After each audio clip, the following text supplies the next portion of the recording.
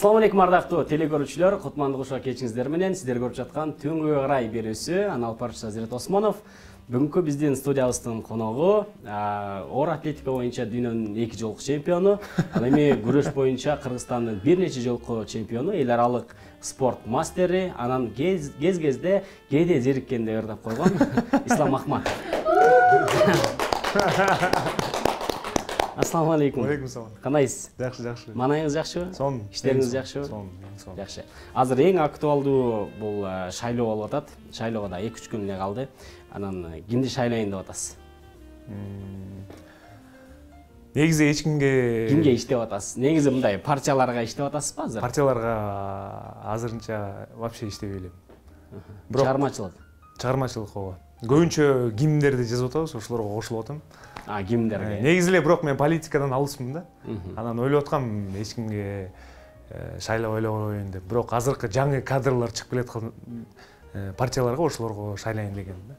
Ойлоруңуз бар. Ойлорум бар негизи жан дүйнөңүздө эмне спортпу өзүңүздүн кесибиңиз боюнча иштөөбү же чыгармачылыкпы сиз кандай адамсыз? Чыгармачыл адамсызбы же башка мындай мүнөзүңүз боюнча кандай адамсыз? Мен өзүм чынында эле спортсменмин.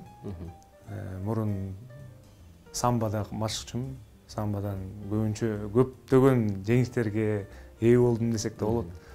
Ошол кыргызстандын чемпионумун өзүмдүн весимде ошол анан ошо самбо менен машыгып жүргөндө анан ырдап кеттим. Ошо менен спорттогу алыстап кеттим да. Самбо менен машыгып жүрүп эле ырдап кеттиңиз ооба бирок школа мектепте ырдап жүргөндө ырдап баягы ырдап жүрдүм. Анда да машыгып жүрдүм да. Бирок көбүнчө ошол баягы ырчылыкка тартып кетти да. Жигитке жетимиш өнөр аздык кылат дейт го сиз көп кырлуу талант турбайсыз демек ооба футбол ойнойм футболистмин еще а футболист футбол дагы ойнойсуз? Футбол да ойнойм ал жакта кайсы жактын чемпиону болдуңуз? Футболдо эки миң сегизинчи жылдан бери өзүбүздүн баягы өнөр деген командада көбүнчө ойноп жүрдүм ошол өнөр адамдардын кандай десем ошо курама командасында курама командасында.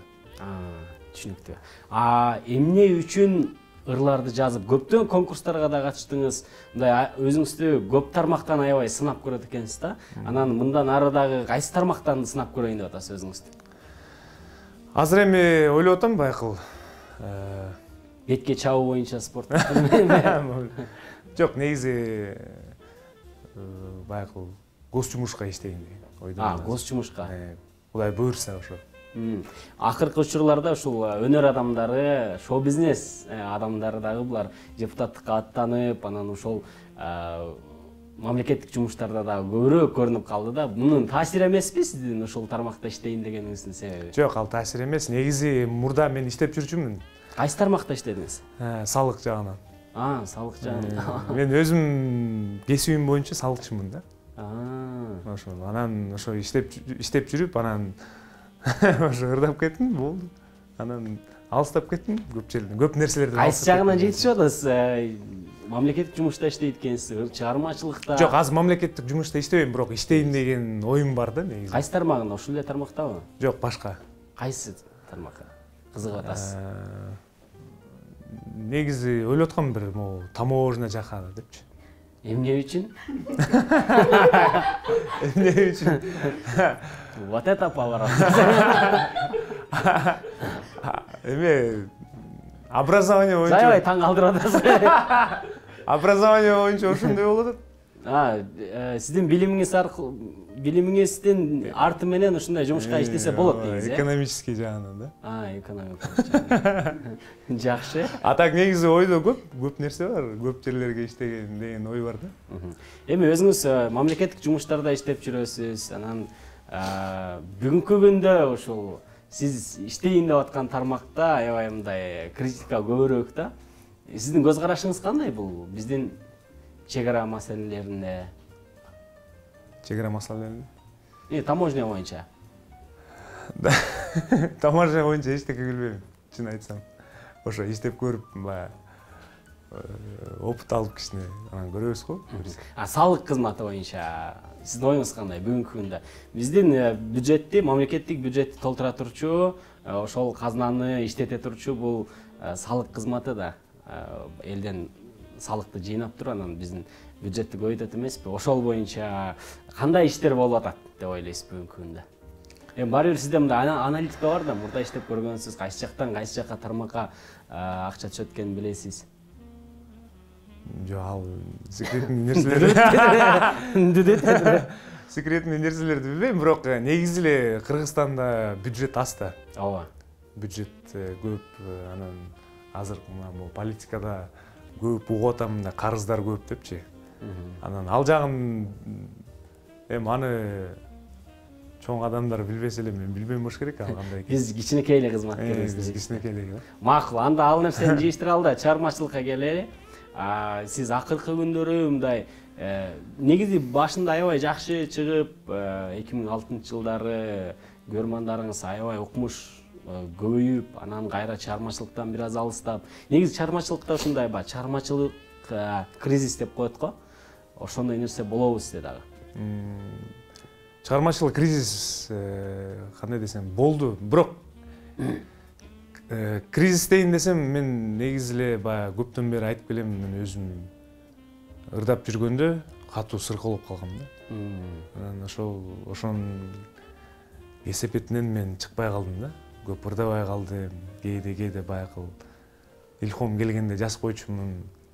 Анан бирок чынында эле катуу ооруп жүрдүм аябай катуу ооруп ушул баягы адам ооруганда эчтеке көңүл келбей калат да ошондой болуп жүрдүм да ошол анан ырлар жазылбай клиптер тартылбай ошондой эме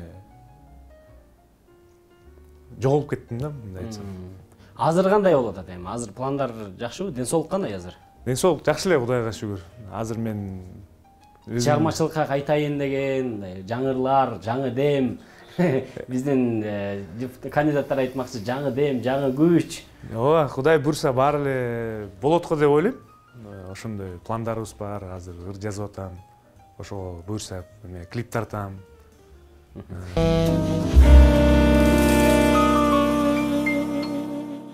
Анан чыгармачылыкта ушундай нерсе бар. Баягы сиз чыктыңыз мисалы эл алдына чыгып элге таанылып чыгармаларыңызды тартуулап элдин жүрөгүнөн түнөк таптыңыз. Анан кайра сизден ошол көрөрмандарыңыз кичине чыкпай калган учурда эле сизди кыжаалат кылып кайра кайра сурай беришет да. Мына ошол нерсе бүгүнкү күндө кандай? Сурагандар барбы дагы эле? Сурагандар аябай эле көп. Негизи эле баягы соц тармактарда көп жазышат. эмне деп жооп бересиз аларга? Мен аларга баягы эме берип коет го мындай орусча айтканда надежда деп коет го ошондой бере берем депутаттардай эле ооба депутаттардай эле мына буюрса буюрса баары жакшы болот ооба баары жакшы болот сонун болот жаңы ырлар чыгат жаңы ырлар чыгат жаңы клиптер чыгат жакынкы арада көрөсүңөр депчи бирок негизи эле көп эле жазышат ошол көп ютубтан угуп калам инстаграмдан көп жерлерден жазышат да ошо сурашат эмне чыкпай калдың бирок антейин десең дагы көбү билет экен ошол баягы сыркоолоп ооруп жүргөндө ошол эми кандай мен өзүм баягы күйөрмандарым көбү эле билет экен да ошол ооруп жүргөн кездеримди чыкпай калганыңыздын себебин билет э? Ооба. Жакшы. Азыр спорт менен машыгып атасызбы азыр ооба спортту баягы көрөлү деп коесуз жүрчү эшикке деп элечи баягы ден соолук берип атканда спортту тыштабаш керек да негизи футбол ойноп турам өзүнчө баягы бруссияга турникке тартынып жүрөм эки миң он тогузунчу жылы үйлөндүңүз э эки миң он тогуз кандай экен үйлөнгөн үйлөнгөн эң соң экен баягы эң эле аянычтуу нерсе аянычтуусунан дедиңиз аянычтуу нерсеси баягы эрте үйлөнгөндө болмок экен деп ойлоп калдым да. Анан онунчу августта буюрса кызды болгом ошо айбали куттуктайм анда бешик балыңыз бек болсун рахмат рахмат. Кызыңыздын атын ким койдуңуз алия койдук алия койдук э чыгармачылыкта негизи үйлөнгөн жакшы экен деп атпайсызбы анан көпчүлүк баягы биздин шоу бизнес өкүлдөрү айрыкча мырзалар деп коелу көпкө чейин үйлөнбөй жүрүшөт да ошол биздин көрөрмандарыбыз жоголуп кетет көрөрман кыздар жоголуп кетет деп сиздики кандай болду ошондойбу же сиз башка себептер менен үйлөнбөй жүрдүңүзбү жок башка себептер менен го дейм. Мен анткени ошол жана жогоруда айтып кеткендей ооруп жүргөндө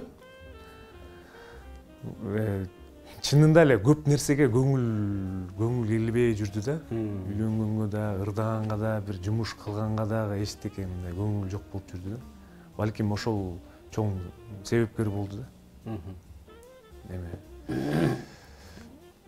кандай десем үйлөнгөнгөбү э үйлөнгөнгө жеңем менен кантип каяктан таанышып анан канча убакыт сүйлөшүп үйлөнүп калдыңыздар жубайым жайымыз толуп калса эмнеден монтаждан жубайым менен мен менин группалашым. Аида деп группалашым болот ошол мага жазып калды баягы эме сиңдим менен тааныш көрбөйсүңбү балким жагып калар депчи ошо анан номерин берди мен жаздым ага жолуктук. Ошо сүйлөшүп жүрдүк анан бир жарым жылдай сүйлөшүп анан үйлөндүк. Жакшы. Ата болуу сезими такыр башкача сезим дейт го вот жакында эле сиз ата деген статуска ээ болуп турсуз анан азыркы учурда кандай сезимдер болду ошол учурдачы? Азыр эми э, ата болуш э, аябай сонун экен. Чынында эле ата болуш. Бирок дагы эле ошол мага мындай аябай мындай мындай сезиле элек да чын айтсам. Баягы бала кичинекей го дейм ошо чоңоюп баштаганда артыңан чуркап. Ишенип ишенбей жүргөн турбайсызбы? Э. Ата болдумбу же бала жокпу депчи ошондой болот да. Анан ата дегенде ошондо көбүнчө ата деп калганда ошондо анан сезе баштайсың болуш керек деп ойлойм да. Ооба. Буга чейин көп конкурстарга катыштыңыз ушул э, ыр менен ырдап анан э, мындан кийин дагы конкурстарга катышуу пландарыңыз барбы? Же болбосо башка спорт жаатында дагы ушундай пландар барбы негизи негизи конкурстарга катышып келейин деген ой бар. Ушул турцияга же казакстанга анан россияга россияга голоско барып келгим келет новая волна дегенге барып келдим новая волна калп айтпасам бир үч төрт жолу бардым го дейм ошо өтпөй калдым да. Анткени ошол конкурска катышып жүргөндө конкурста мага ким ревзин келген да өзүм эшикте турсам өзү перекурга чыгат го мындай эс алыпчы анан ошондо келип мага кол берип атпайбы ислам молодец сен жакшы ырдайт экенсиң талантың талантыңа таазим деди да. Жакшы ырдайт экенсиң сонун ырдайт экенсиң бирок сен мындай орусча айтканда состоявшийся артист деп атпайбы магачы сен уже бүттү сен артистсиң деп атпайбы сага сен бияка келбей эле кой деп мага ошо ачыгын айтты да. Баягы бул бул ырайында эмесин деди э бул жаңы толкун эме деди да. Жаңы чыгып келаткан ырчыларды биз колдойбуз деп атпайбы анан сен опытың жакшы экен опытың чоң экен ошо сен. Жетишет. Жетишет деди да.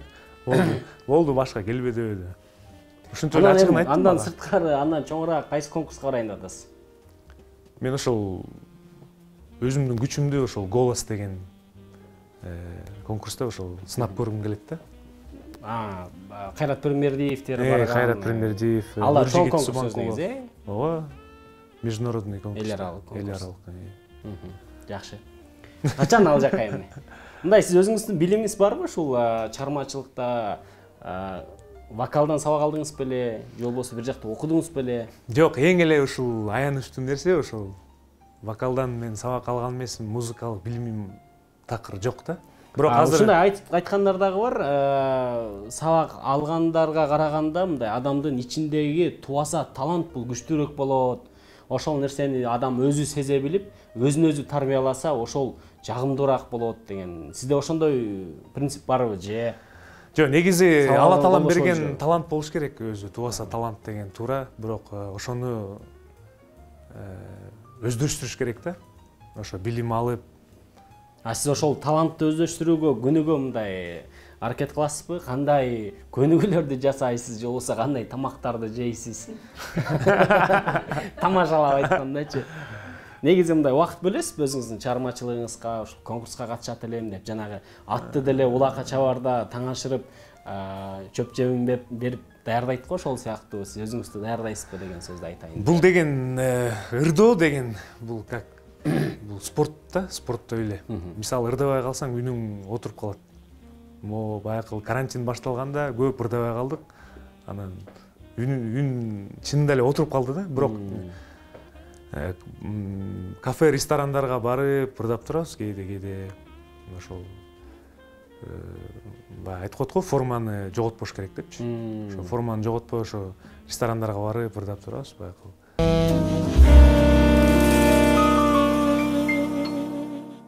сиз жаңы эле ушул э, жанагы үндү э, тарбиялоо тууралуу айтып кеттиңиз. Анан кафе ресторандарга барып э, кез кезде ошол өзүңүздү текшерип багып үндү ырдап турат турбайсызбы анан биздин студияда дагы бир өзүңүз разминка кылып бир ырдап берип коюңуз бизге телекөрүүчүлөрүбүзгө эми сизди сагынгандар сиздин үнүңүздү сагынгандар бар да.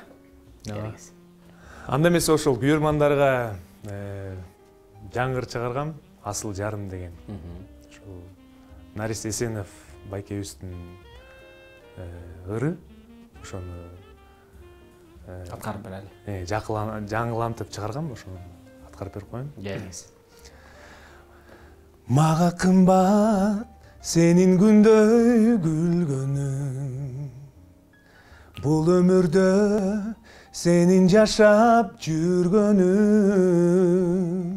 көңүлүм жай сен бар кезде жанымда жаркып турат бакыт чачып күндөрүн жаркып турат бакыт жаркып турат бакыт жаркып турат бакыт чачып күндөрүн асыл жарым асыл жарым асыл жарым арнайм сүйүмдү асыл жарым Бул дүйнөдө мен өзүңө тойбодум мага кымбат бери карап койгонуң көз ачылып өсө берет жан дүйнөм махаббатым сенде таза ойлорум махаббатым сенде махаббатым сенде махаббатым сенде таза ойлорум асыл жарым асыл жарым асыл жарым арнайм сүйүмдү асыл жарым баракелде буюрса жеңебизге арнаган турбайсызбы да айбали буюрса баардык биздин сиздин күйөрмандарыңыздын да кайрадан эле көңүлдөрүнө төп келе турган жакшы чыгарма болду деп ишеничтебиз биз мага жакты чынында ырларды кандай кылып тандап аласыз негизи көпчүлүк азыр биздин шоу бизнесте ушул тойлорго арналган ырларды мындай бийлей турган ырларды көбүрөөк чыгарып калышты да. Анткени бул замандын талабы тойдон акча табуу максатында болуп калды коммерческий ырлар коммерческий ырлар болуп калды мындайча айтканда сиз өзүңүз э, кандай ырларды кандай кылып тандап аласыз? Мен өзүмө жаккан ырларды тандайм жок кандай десем эми көбүнчө мурун ырдап жүргөндө романтикалуу ырларды лирикалдуу ырларды көп ырдачумун азыр шаңдуу ырларга өттүм эмне үчүн эми тойлорго барып жок тойлорго бар. Ага да ырлар чыгарып койгонбуз бөлүп өзүнчө баягы негизи азыр шоу бизнесте ушундай болуп калган турбайбы э тойго өзүнчө ыр жаздырып анан адамдын өзүнө жаккан ырларды сиз айтып аткан сизде да ошондойбу эми кандай десем күйөрмандарга баягы өзүнчө бир мындай Э, өзүнчө бир ырлар бар да. Э, радиолорго десем болот телевиденияга мисалы э, баягы мындай өзүң жан дүйнөң эмнени каалайт ошол ырларды чыгарасың да. Тартуулайсың э? Тартуулайсың. Анан албетте тойлорго башка ырларды ырдаш керек. Тойлордо шаң болуш керек той болуш керек күлкү дегендей. Ошо ага да өзүнчө бир тойский ырларды ырдаш керек да. Ага көз карашым туура деп эсептейм да негизи. Түшүнүктүү. Сиз өзүңүз көп конкурстарга катышып келдиңиз башка мамлекеттерге барып келдиңиз ал жактын шоу бизнеси менен жакыныраактан таанышып келдиңиз биздин айрым ырчыларга карагандачы өзүңүздүн көзүңүз менен көрүп келдиңиз биздин шоу бизнес же болбосо биздин чыгармачыл адамдардын эмнеси жетишпейт канткенде биз башка мамлекеттердин деңгээлине чыгабыз баягы жаңы толкунда деген сынакка барып катышып келдик ошол анан кандай өзгөчөлүктөр бар экен ал жакта бизде эмне жок экен ал жакка караганда? Баягы эле каражат. Каражат болсо мен ойлойм ошол биздин ырчылар көп э, жетишкендиктерге ээ болот деп ойлойм да ошол э, кандай десем дүйнөлүк бир масштабка чыгышат деп ойлойм да. Анткени баягы биз ырдаганда э, кыргызстандан көп эле ырчылар барып атты бизге келип атышты да ырдап бүткөндөн кийин. Башка мисалы армения россия украина келип атышты каяктан болосуңар? Кыргызстандан десек о силер аябай мыктысыңар көп эле көрөбүз угабыз аябай эле жакшы ырдайсыңар деп калышат да. Анан негизи эле ошол каражат маселеси ошол эле. Биздин азыр эми ырчылар э, тойдон эле акча табат мисалы туурабы. А башка өлкө өнүккөн өлкөлөрдө булар патенттен акча табат экен радио телевидениелерден акча табат экен бизде ал нерсе жок да бүгүнкү күндө туурабы бизде патенттер бар патенттер бар бирок өтө аз э, аз да аз да ошол анан шоу бизнес бизде эми кичине ачыгын айтканда баягы слабыйраак болуп атат да слабыйраак болуп атат баягы негизги себептерин айтып кетсеңиз эмне үчүн ушундай бир аз алсызыраак болуп атышат мисалы биздин аранжировка кылган байкелерибиз сөз жазган байкелерибиз обон чыгарган байкелерибиз э, арзан сатышат экен аларды дагы алар менен сүйлөшсөң дагы ушул эле маселени айтат да бизде арзан булар депчи ошол эле обонду ошол эле аранжировканы кылганда казакстанда аябай кымбат бизге караганда аябай кымбат кылышат депчи ушундайбы эми анысын билбейт экенмин бирок э, биздин өзүбүздүн элибизге кыргызстанга баалары жакшы эле го деп ойлойм. Ошо биздин экономикабызга биздин экономикабызга ылайык э, казакстандыкы өзүнчө мисалы казакстандыкы ошол эле аранжировщиктер мисалы э, баалары кичине өйдөрөөк бирок алардын ошол каражаты баягы орусча айтканда позволяет да. Өзүнө э ошол. э, өзүнө ошол. А так ошол эле ошол эле аранжировщиктер баягы ошол эле акындар а сиз өзүңүз башка ошол казакстанга же болбосо россияга чыгып алардын шоу бизнесине аралашып ал жактан чыгып көрөйүн деген ойлор болдубу азыр казак ырчылар мисалы көпчүлүгү орусияга барып ал жактын шоу бизнеси аркылуу могу орто азияга таанылып атышат да. Жок андай деле ой жок. Мен кыргызстанда эле чөнчө дебейсизби баш тартпачы депчи эме негизи андай ой жок кыргызстанда эле калам кыргызстанга эле ушу кыргызстандын шоу бизнесине эле калгым келет башка жерлерге барсам ошол өз жеримди эле сагына берем да. Анан шоу бизнеске көп деле аралашкым келбейт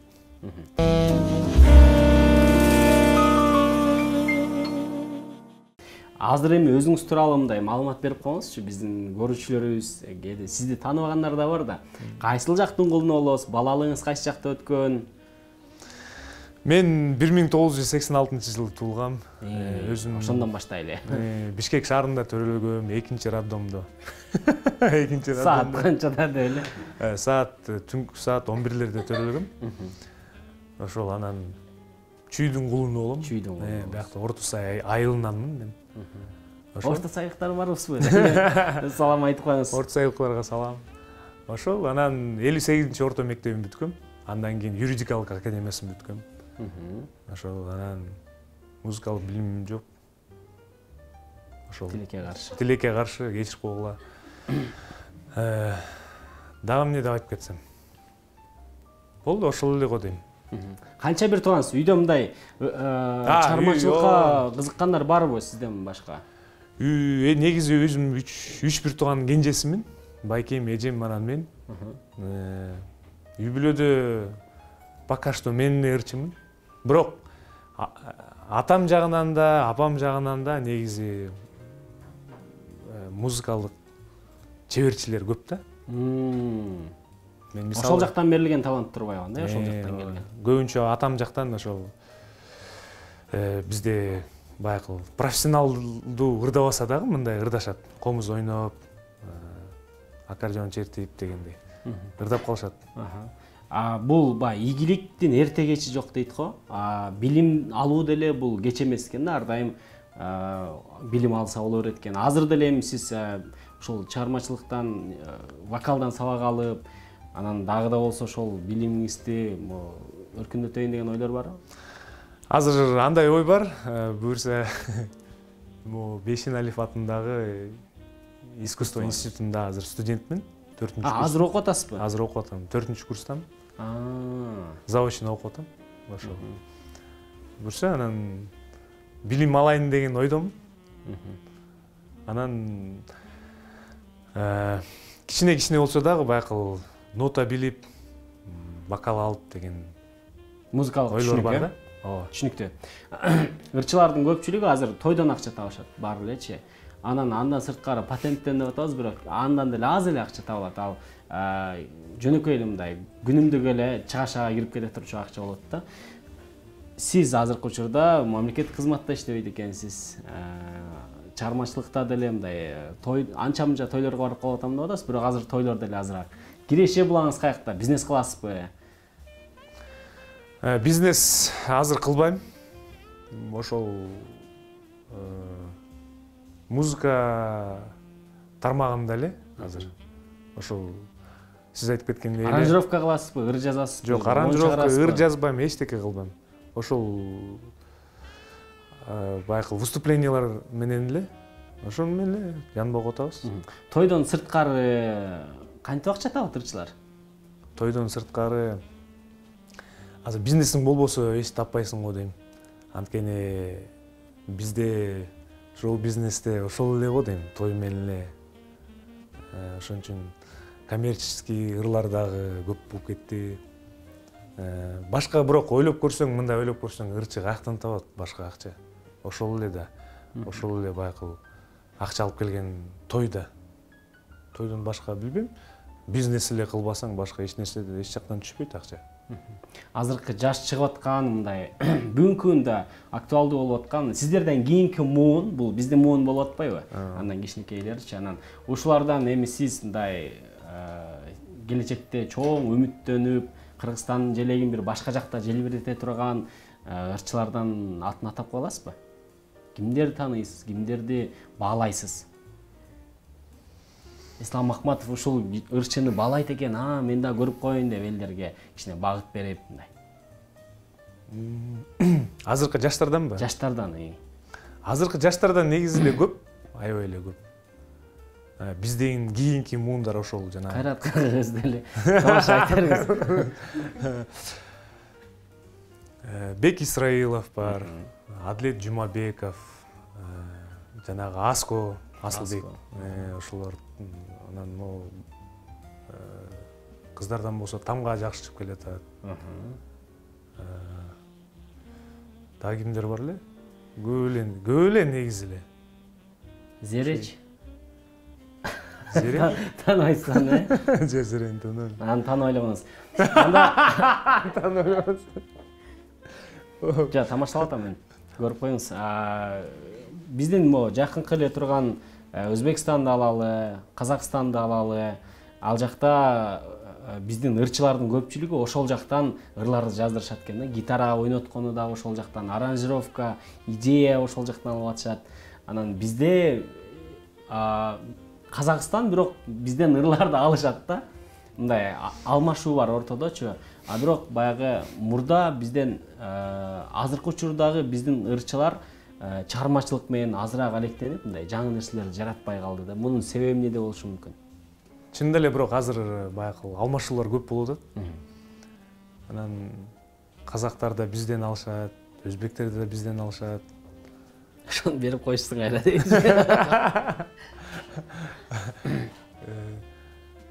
бул чыгармачылык э, кризис деп ойлойм.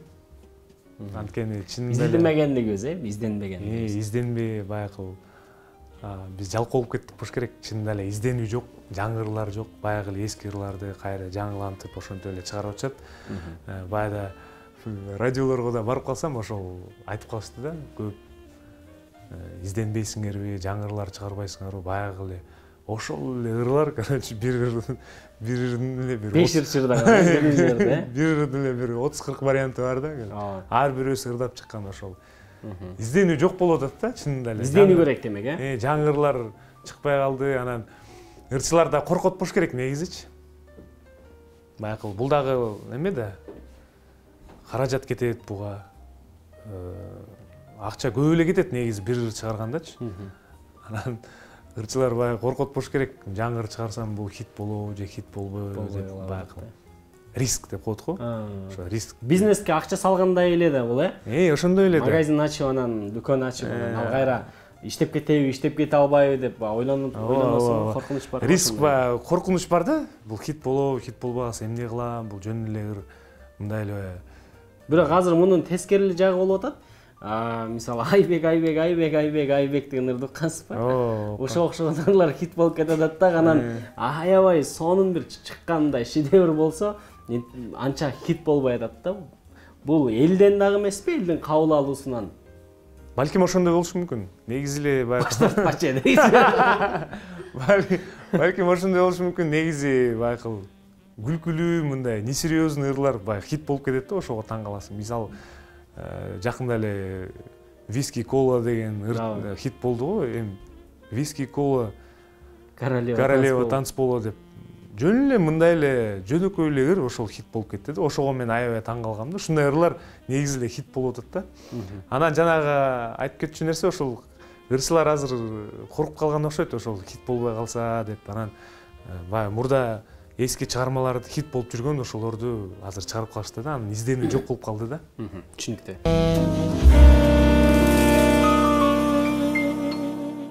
Кичинекей оюнубуз бар. Сиз менен чогуу ойноп коелу азыр сиздин фантазияңызды анан сиздин э, ойлонгучуңузду иштетели. Биз азыр беш секунд беребиз сизге. Беш секундтун ичинде биз берген суроого жооп берип бүтүшүңүз керек. Мына ушул суроо болот ушул секунд болот.